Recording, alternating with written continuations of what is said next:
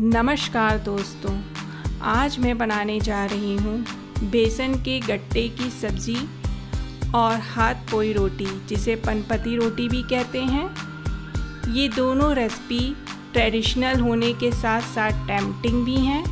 तो चलिए video start करते हैं। पहले हम हाथ पोई रोटी बनाने के लिए आटा तैयार करेंगे। इसके लिए मैंने चार कप गेहूँ का आटा लिया है और आटा गूंदने के लिए एक गिलास पानी लिया है। आप चाहें तो गेहूँ के आटे के साथ बेसन या मक्के का आटा भी मिला सकते हैं और इसमें नमक, अजवाइन, कसूरी, मेथी भी ऐड कर सकते हैं। मैं इसे सिर्फ़ गेहूँ के आटे के साथ बना रही हूँ। इस रोटी का आटा नॉर्मल आटे से थोड़ा सख्त गूंदा जाता है। अब इसे 10 से 15 मिनट साइड में रेस्ट के लिए रख देंगे और इतना आटा गूंदने में एक गिलास पानी में एक टेबल स्पून पानी बच गया है।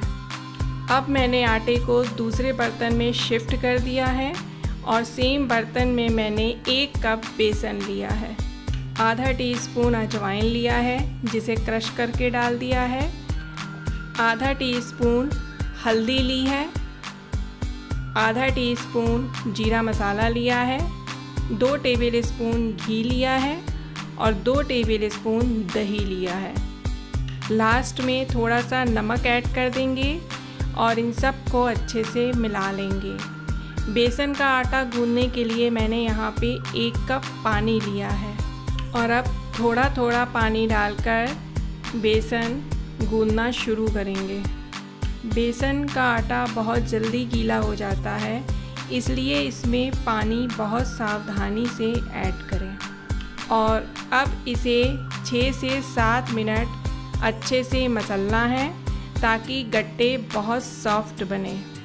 अगर बेसन को अच्छे से नहीं गूंदेंगे तो गट्टे पानी में जाकर फट सकते हैं। बेसन थोड़ा सा स्टिकी होता है इसलिए उसे हाथ से छुड़ाते हुए आटे को गूंद लें। आटे को मैंने लगभग आठ मिनट तक गूंद लिया है और इतना आटा गूंदने में सिर्फ़ तीन टेबल स्पून पानी खर्च हुआ है। मैंने आटे में से थोड़ा सा पोर्शन निकाल लिया है और इस तरीके से हथेली पे रोल करके दोनों साइड से बराबर कर लिया है। और अब इसी तरीके से हम सारे लॉक तैयार कर लेंगे। यहाँ मैंने दो कप पानी को लो फ्लेम पे गर्म होने के लिए चढ़ा दिया है। पानी उबल गया है तो अब हम इसमें गट्टे को वन बाय वन करके डाल देंगे। कभी भी ठंडे पानी में गट्टे ना डालें, नहीं तो वो अच्छे से पकते नहीं हैं। अब हम इसे ठीक से पकाने के लिए चार पाँच मिनट के लिए कवर कर देंगे और बीच बीच में खोल कर देख लेंगे। चार मिनट हो चुके हैं तो हम ढक्कन हटा देते हैं। और ये देखिए, ये गट्टे अभी पूरी तरीके से नहीं पके हैं। तो हम दो तीन मिनट के लिए इसे फिर से कवर कर देंगे। तीन मिनट हो चुके हैं। गट्टे के ऊपर बबल दिखने लगे हैं। इसका मतलब है ये पक चुके हैं। कुल मिलाकर गट्टे को पकने में आठ से दस मिनट लगते हैं। क्योंकि मैंने ढककर पकाया है, इसलिए ये जल्दी पक गए हैं। तो अब हम इसे छान लेंगे। गट्टे को इस तरीके से छानकर पानी से अलग कर लेंगे। और पानी का यूज़ हम ग्रेवी बनाने में करेंगे। ये थोड़े से ठंडे हो गए हैं तो अब इसे छोटे छोटे पीस में काट लेंगे। ये बहुत सॉफ्ट हैं, इसलिए ये इतने आराम से कट जा रहे हैं। इसी तरीके से हम सारे पीसेस काट लेंगे। अब हल्का सा इसे फ्राई कर लेंगे। तो मैंने लो फ्लेम पे गैस पे कढ़ाई को चढ़ा दिया है और उसमें एक चम्मच रिफाइंड ऑयल डाल दिया है। थोड़ा सा तेल गरम होते ही हम इसमें गट्टे डाल देंगे और इसे डेढ़ दो मिनट तक फ्राई कर लेंगे। वैसे तो ये स्टेप टोटल ऑप्शनल है, लेकिन फ्राई करने से इसका टेस्ट और बढ़ जाता है। अब सब्ज़ी बनाना शुरू करते हैं। तो मैंने सेम कढ़ाई में चार टेबल स्पून मस्टर्ड ऑयल डाला है। आप चाहें तो रिफाइंड ऑयल या घी भी डाल सकते हैं। और तेल के गरम होते ही आधा चम्मच जीरा डाला है। दो हरी मिर्च को बारीक काट के डाल दिया है। और एक चम्मच जिंजर गार्लिक पेस्ट डाला है। आप चाहें तो अदरक और लहसुन को चॉप करके भी डाल सकते हैं। जिंजर गार्लिक पेस्ट को थोड़ा सा फ्राई कर लेंगे और इसके बाद हाफ़ टी स्पून हींग डाला है। एक टेबल स्पून कसूरी मेथी को क्रश करके डाल देंगे। इस सब्ज़ी में कसूरी मेथी का स्वाद बहुत अच्छा आता है। अब मैंने दो प्याज को चॉप कर लिया है। इसे भी डाल देंगे। और प्याज को ट्रांसलूसेंट होने तक फ्राई करेंगे। अगर आप प्याज और लहसुन नहीं खाते हैं तो स्किप भी कर सकते हैं और केवल जीरा और हींग डालकर ये सब्ज़ी बना सकते हैं। प्याज पारदर्शी हो चुकी है तो मैंने इसमें दो टमाटर की प्यूरी बनाकर डाल दिया है। टमाटर डालने के बाद प्याज और टमाटर सबको फ्राई कर लेंगे और इसमें मैंने थोड़ा सा नमक डाल दिया है। नमक आप अपने स्वाद अनुसार डालें और अब हम इसे तीन चार मिनट के लिए कवर कर देंगे।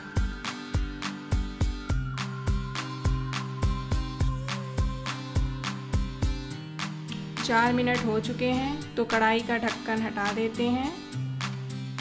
टमाटर अच्छे से पक चुका है।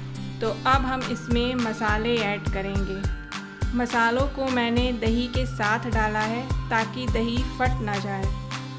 तो मैंने यहाँ आधा कप दही लिया है, इसे अच्छे से फेंट लिया है और इसमें एक टीस्पून हल्दी, एक टीस्पून पिसी धनिया, एक टीस्पून कश्मीरी लाल मिर्च और एक टीस्पून जीरा मसाला डाला है। मसालों को दही में खूब अच्छे से मिला लेंगे। और अब थोड़ा थोड़ा करके दही को कढ़ाई में डालेंगे और चलाते जाएँगे। गैस की फ्लेम लो रखेंगे और इसे लगातार चलाते जाएँगे ताकि दही फट ना जाए और साथ ही मसाले भी फ्राई हो जाएँगे। अब मैंने दही वाली कटोरी में ही गट्टे वाला पानी डालकर ग्रेवी बनाने के लिए ऐड कर दिया है। पानी को बराबर चलाते हुए बॉईल कर लेंगे। और जब पानी में अच्छा उबाल आ जाएगा तो गट्टे के पीसेस को डाल देंगे। इसके बाद सब्ज़ी को चार से पाँच मिनट ढककर पकाना है।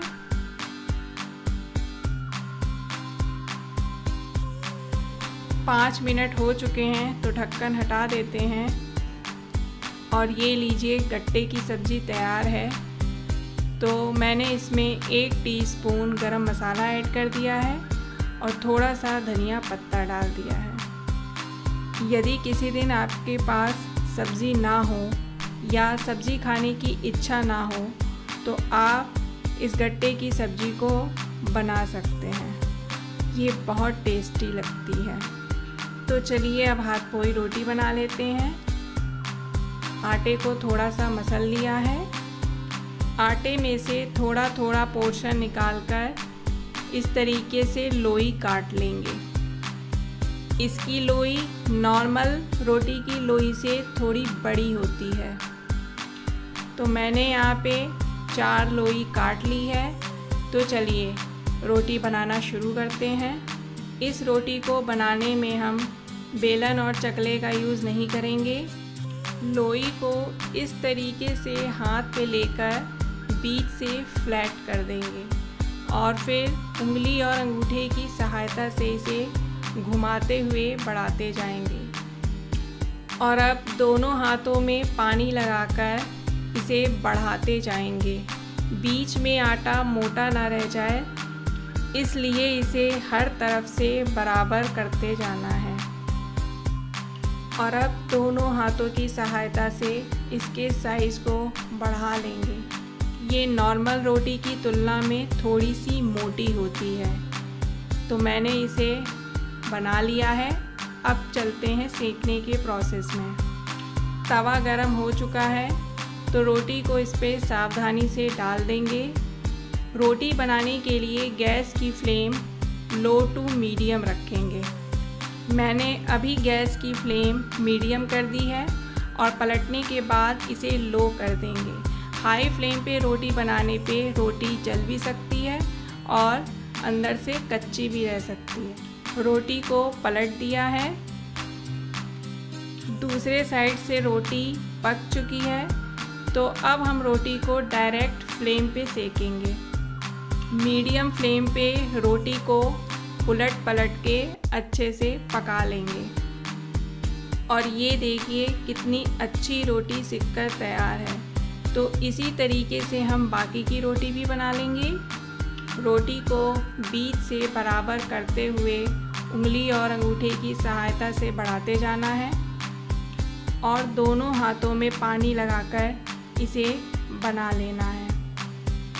रोटी को तवे पे डालने के बाद इसकी फ्लेम बढ़ा देनी है और रोटी को लो टू मीडियम फ्लेम पे पकाना है। जब इसका दूसरा साइड पक जाएगा तो उसके बाद हम फ्लेम पे रखकर सेक लेंगे। ये रोटी ज़्यादातर रूरल एरिया में चूल्हे पे बनाई जाती है। और ये इतनी टेस्टी होती है कि इसे आप अचार के साथ और चटनी के साथ भी खा सकते हैं।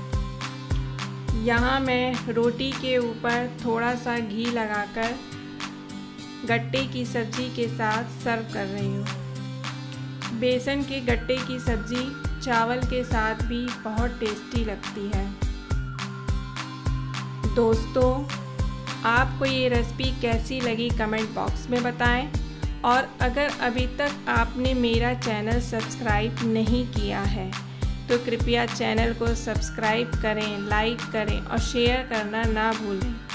साथ ही बेल आइकन ज़रूर दबाएँ, जिससे आपको मेरी नई रेसिपी की नोटिफिकेशन मिलते रहें। धन्यवाद।